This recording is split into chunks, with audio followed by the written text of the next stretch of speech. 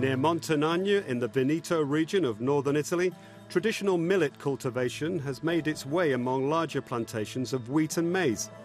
These cereals make it possible to produce food suitable for people who are gluten intolerant. The owner of one of these farms is one of the beneficiaries of the European Re-Cereal project to reintroduce the cultivation of oats, millet and buckwheat in the regions around the Italian and Austrian Alps.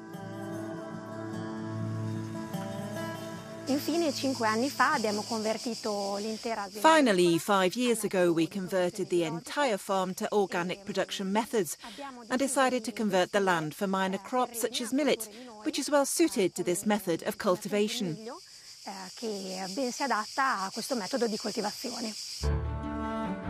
The Re-Cereal initiative not only seeks to boost the biodiversity by reintroducing traditional crops, but it is also a scientific project the company, Dr. Schär, is Europe's leading producer of gluten free foods and has its research and development centre in Trieste.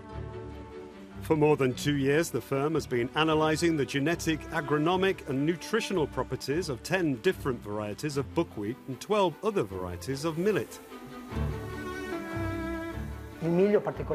Millet, in particular, is a crop that responds very well, even under stressful conditions.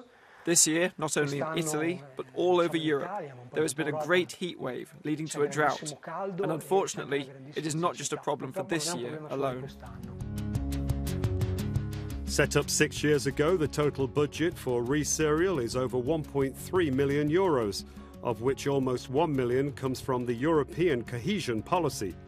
The initiative is a cross border cooperation project between Italy and Austria.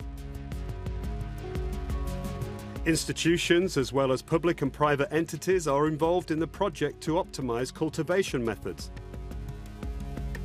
New technologies are also being developed to manufacture flours from buckwheat, millet, and oats, with special characteristics to promote their use in the production of gluten free foods and other traditional foods.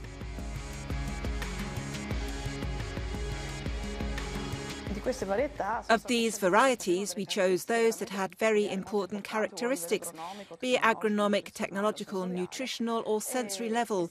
And we are pursuing this project of hybridizing these varieties to try to have even better varieties in the future.